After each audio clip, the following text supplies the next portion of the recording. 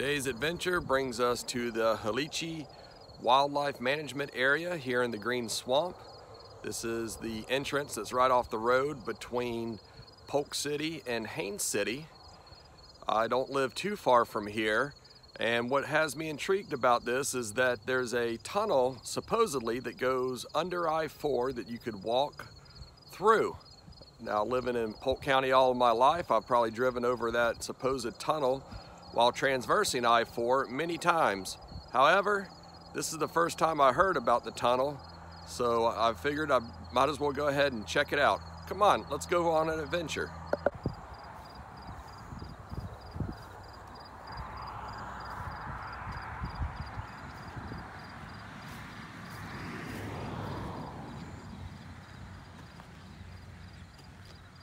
The name of this road that comes off of the Polk City, Haines City Road seems to be Tanner's Grade. A lot of this area was mined and also there's orange groves throughout here before the wildlife management area was established. So hopefully we'll be able to see some relics of years past of Florida history and tradition. So something I find interesting is, is that there's power lines that run back here. All the way back. Not the big ones that run off of I-4, but more like the lower powered lines. So it makes me wonder if there's something back here, maybe some kind of building that's still in use or these are just old from buildings past. I don't know, we'll see. Look at the size of this grasshopper. That is a big one. Wow. This is some old equipment that was probably used at one time to maintain the land around here. While some of it looks like it could have been used here recently, like the grapples there, as shiny as those pistons are, some of this is probably just left over from this tractor barn, as we would call it. So, not sure. Very cool though. So earlier I talked about the power line and was wondering what would be receiving power down here. Of course, a little ways back we saw that tractor barn. It's probably an old tractor barn from the groves or mines that were here and now being used by the services to maintain the roads. There's some material there that's probably used. So probably from here on out, we're not gonna see any other structures that are receiving power and, and are in use. Continuing down the path here. Let's see so I continued down the path and saw a red sign in the distance. So I'm just now up on it. And it's a warning sign to anglers asking them to release the largemouth bass that they catch. So what's really cool is for the fishing folks, it looks to be a nice pond there. So this is a maybe only a mile and a half hike and it's a pond probably a lot of people don't fish in.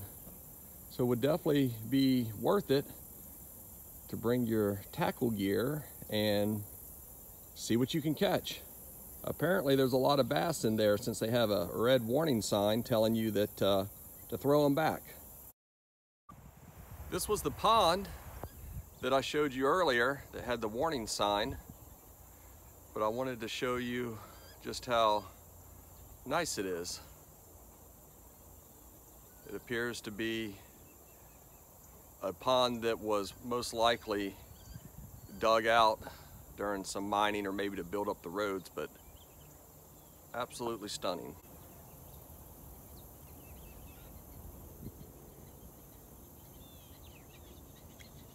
Very clear water too. I don't know if you can see it from the from the camera. It's a little overcast today. What's interesting is, is that it Seems like it's got a little island in the middle out there. This water is very clear. There's that island I'd spoke about earlier. And it looks like there's some birds hanging out, taking a break, probably looking for some fish. Like I said, this water is very clear, so they can most likely see down in the water and probably just waiting for a fish to swim by to get some breakfast. This wound around this trail and I noticed some poo or what some folks would call scat. Not a poo expert, so I don't know what kind of animal this could be from, but I do know we have hog and coyote and deer in the area. So if any poo expert can enlighten us on what animal would have secreted this, that would be great. Here's another pond with another sign. This one looks like it would be a little more difficult to fish out of just because the banks are really steep, which also lends me to believe that these were dug out during a mining process. But nevertheless, another pond. And here's a fresh maintained trail that was probably disked up with the disc that we saw back at the tractor barn. And this is where we came from. Have not seen anybody out here, just me. As in life, we have come to a fork in the road. We are turning off of Tanner grade and onto power line grade, which appears to be the path least traveled. I've made it to the point where the power lines are, just on the south side of Interstate 4. Those are the main power lines that uh, run down the interstate there, and you can see some of the cars behind me. And I guarantee you, just like most of those folks that are traveling down I-4 this morning, they did not realize that this treasure lied just to the south of them.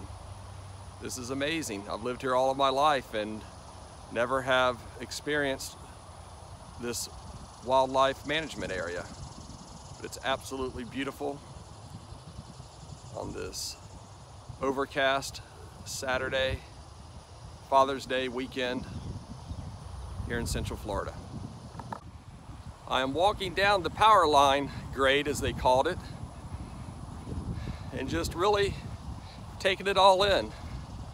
It's really cool. I've traveled I-4 many times, driven right past these power lines and did not realize that there was a trail out here. We are continuing down this power line grade. As you can see, the cattle tracks are still headed down this road. And just up ahead, where that hill is, is uh, where the tunnel is around that area. So we will be taking a look at that. And if I had to say, this is probably where the cows came from, from this cattle ranch here. Wouldn't it be cool if we actually found a cow or two? This is where I came from, way down that power line grade road. We've come to another fork. This is Interstate 4 still, just to the north of us. And by looking at the GPS, it looks like we need to come down this Roger loop.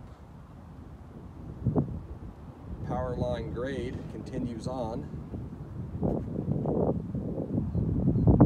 And ultimately, we're going to end up on Home Run Boulevard. Home Run Boulevard is where Boardwalk and Baseball used to be, just across the street from it. Before that, Circus World. Way back. So this is the moment I have been waiting for since finding out about this tunnel. As you can see, we're getting very close to I-4 and you really can't make out this tunnel. Of course, we see the road does dip down here and slightly go down some, which lends me to believe that this is it. This is that tunnel that we had been looking for. And as the motorist motor by, unbeknownst to them, I will be motoring under. Well, as you can see behind me, the tunnel is flooded, which is okay. At least we know that we're here, that the tunnel is in fact here. And if this was my only path back, then it would be no problem to forge my way through there. However, this time, since I'm going to be continuing on to the east, then I will leave this for another day. You can see we've had some rain past couple days and the water has gone down some. But this is it, this is the tunnel. This is the tunnel looking out to the south. There's other people that have found this tunnel also. It appears that uh, Tyler and Kelly have found this tunnel. And Ganny and Tyler have found this. Somebody by the name of Cutter. This is looking through the tunnel. I-4 cars are just above me can see the water has gone down some. But we will leave this for another day.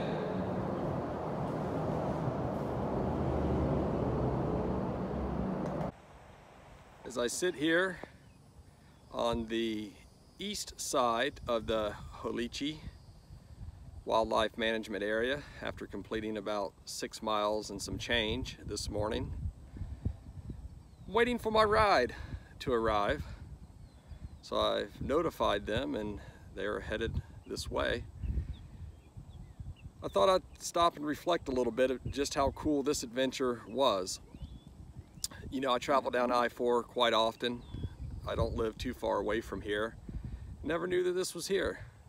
It's definitely a uh, easy trail. One could probably do it on a uh, normal bicycle. Of course, a mountain bike would be slightly better, especially here towards the end it's some gravel and not as well uh, maintained, if that's the right word. But anyway, so lots of cool stuff. We got to see the tunnel under I-4. We got to see some cows or bovine, numerous birds. It's overcast Father's Day weekend. sure was a joy. took me about three hours with filming and all. And uh, it was really cool to see the ponds that are stocked. So you fishermen, be kind of neat to walk out here and cast your line and see what you get. All right, till the next adventure. See ya.